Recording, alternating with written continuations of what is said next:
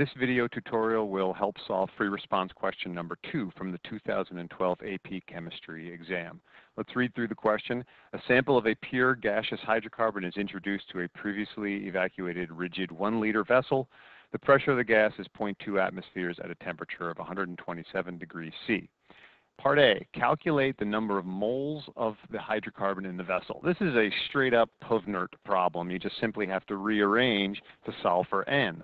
So N is equal to PV over RT and substitute the values in. 0.2 atmospheres times 1 liter over uh, R, which is 0.0821 liter atmospheres per Kelvin mole.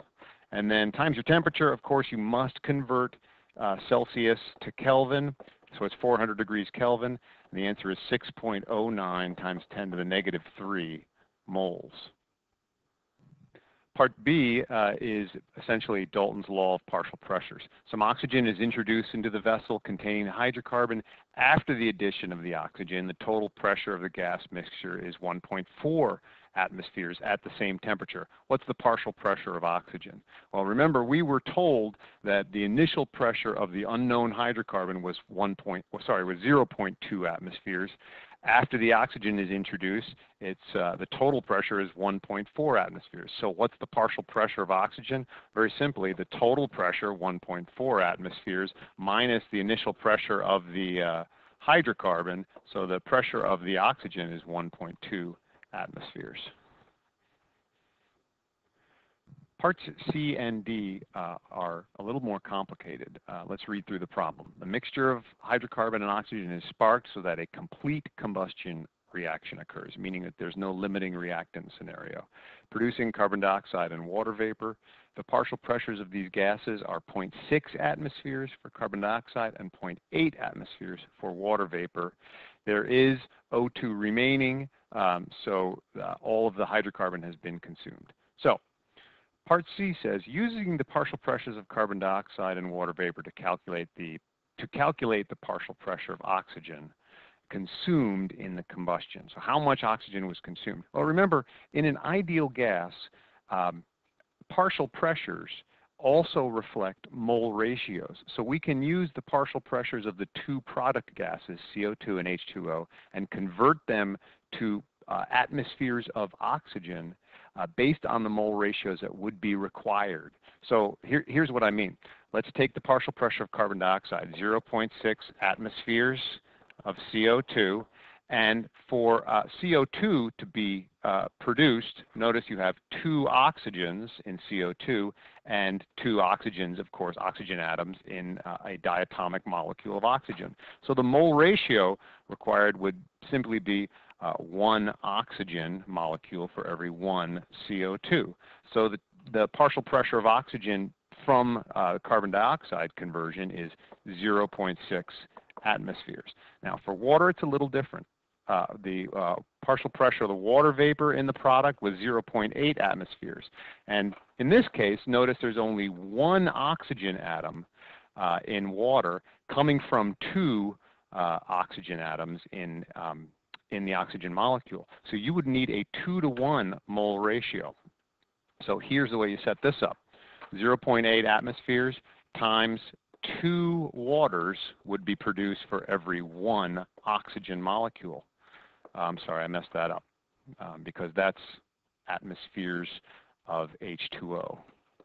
Uh, so it would be the inverse of that, uh, times one oxygen molecule for every two H2Os. So the answer here is 0.4 atmospheres of oxygen. So both of these are of oxygen. So the sum total of uh, the partial pressure of oxygen is 1.0 atmospheres of O2. And that's the answer for that part. Now you could do part uh, C sort of an old school method, but it's much longer and much slower. Uh, for example, you would calculate the number of moles of both water vapor and carbon dioxide gas products based on Puvnert. You'd convert those number of moles of oxygen gas to, um, sorry, moles of, of uh, carbon dioxide and water product gas to moles of oxygen gas, sum up those total number of moles of oxygen gas, and then Puvnert that number of oxygen moles to get the pressure uh, but you'd do all of that work to end up with the same uh, the same answer, one atmosphere of water, which is again just based on Dalton's law of partial pressures, which reflects mole ratios in an ideal gas. So part D asks, on the basis of your answers above, uh, the partial pressures of uh, oxygen, carbon dioxide, and uh, the initial uh, unknown hydrocarbon, write the balanced chemical equation for the combustion reaction. So I've written here uh, the partial pressures that we have calculated of all of the reactants and product gases. And if you notice, as we've mentioned, the partial pressures reflect mole ratios in an ideal gas. And so uh, if we simplify this and, uh, and divide by the lowest number is the way we typically do it, we have a mole ratio here. So we're dividing every number here by 0.2. Okay, uh, you end up with 1 to 5 to 3 to 4. And those are the mole ratios that go in the balanced chemical equation. So you can just substitute those in. It's a 4 here, a 3, a 5, and a 1, which you don't need to fill in, but we'll write it anyway. Now again, there is a slow way to do this. You can calculate the number of moles of carbon dioxide and water vapor product using PUVNERT, PV over RT equals N and from that convert to the number of moles of carbon and hydrogen atoms. Uh, then you'd know an empirical formula of the hydrocarbon, uh, which would be um, which would be uh, three to eight roughly, and then you could balance the equation from there. But that's a much slower method. It's much quicker to remember the fact that partial pressures reflect mole ratios in an ideal gas. Part B question also asks you to determine the formula of the hydrocarbon. So we've balanced the equation and notice we've got three carbon atoms and we've got eight uh, hydrogen atoms. The oxygen in CO2 and H2O of course comes from atmospheric oxygen. So uh, the mole, the, the atomic ratio in the unknown hydrocarbon is C3H8 part E of this question asks you to calculate the mass of initial hydrocarbon that was combusted. So from the previous question, we know that the empirical formula of the uh, hydrocarbon was C3H8, and that's propane, so we can get to a molar mass. And from the initial uh, part A of the question, we calculated the number of moles, uh, which was 6.09 times 10 to the negative 3 uh, uh, moles. So all we need to do is take 6.09 times 10 to the negative 3 moles and multiply it by the molar mass times 44.1 grams per mole and you'll be left with the number of grams. Moles will cross out and you get 2.69 grams of propane that was combusted. The final part of this problem asks or, or, states that as the vessel cools, droplets of water condense inside of the container. That makes sense. Predict the pH of the water in the vessel. Is it less than, equal to, or greater than 7?